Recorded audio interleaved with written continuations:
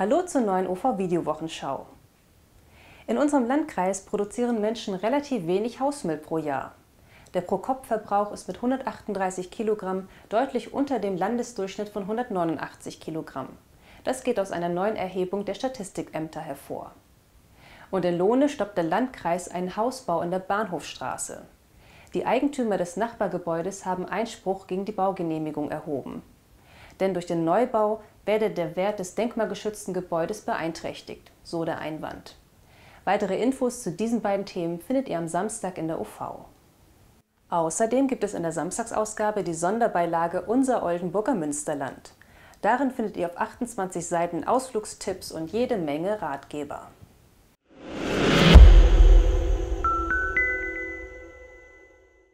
Bereit für die blaue Hölle. Die Basketballer von Rasta Fechter absolvieren am Samstag ihr zweites Playoff-Halbfinale in der zweiten Bundesliga Pro A. Der Hauptrunden-Champion tritt um 19 Uhr bei den Rockets Gotha an.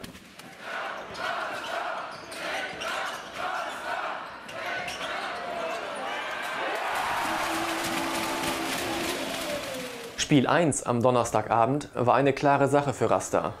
Mit 94 zu 57 setzte sich die Mannschaft von Andreas Wagner durch und ging in der Best-of-Five-Serie mit 1 zu 0 in Führung. Wagner warnte aber vor allzu großer Euphorie. Es steht nur 1 zu 0, es ist noch gar nichts entschieden, sagte er nach dem Spiel. Gothas Trainer Chris Ensminger setzt derweil auf eine Wende. Am Samstag werden die Karten neu gemischt.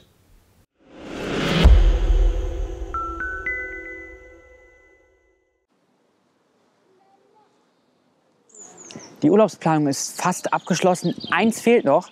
Die UV muss noch mit. Und wie das funktioniert im Urlaub und wie das ganz bequem möglich ist, auch im Urlaub, das zeige ich euch jetzt. Wählt einfach auf www.ov-digital.de unseren Reiseservice aus, dort den Zeitraum des Urlaubs angeben und schon geht's los. Euren Zugang schalten wir sofort frei und die UV kommt mit in den Urlaub.